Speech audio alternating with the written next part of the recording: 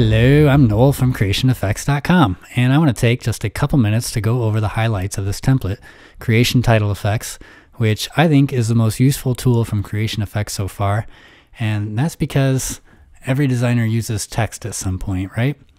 And this template has 200 title effects covering lots of different themes and genres and materials, so there's something for every project, and there's also lots of just nice looking non-themed text so you'll always have something professional looking that you can easily put into your videos.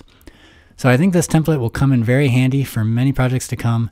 And I might even say it's the last template you'll ever need. Except why would I, I would never say that because that's ridiculous. I don't know you. I don't know what you're going to need. And why would I, why would you think that? I'm, you're crazy. But let me show you how cool it is. What we have here is 200 text layers in this one comp. Um, that's right. They're all on their own individual text layer, so it couldn't be any easier to edit the text or change the font. Um, you can search for the titles by keyword here. And when you find the one that you like, you can go with the default settings or you can customize the look of the effect using all these slider controls that are on every layer.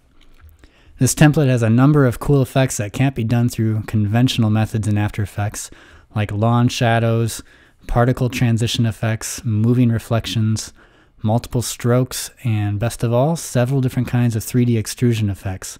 So you can have a parallel extrusion or a solid color extrusion or an extrusion with shadows and highlights and uh, you can even turn on your camera layer and the extrusions will behave like real 3D text.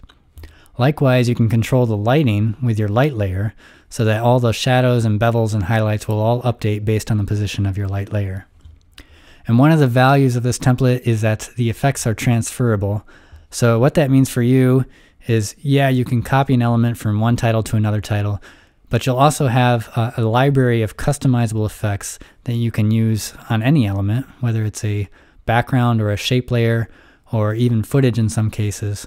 So if you ever need glitch effects or VHS tape effects, old film effects, bullet holes, chalk or pencil sketch effects, clouds, fabric, drip effects, ink bleeds and reveals, sparkles, ice or icicles, water reflections, glass, rusty metal, wood, sand, water, snow, glitter, grass, smoke, sparks, fire, graffiti, slime. And you get the idea. That stuff's all here and a whole lot of other ones. And uh, this template also includes a library of high-res textures that you can use on your text or as backgrounds.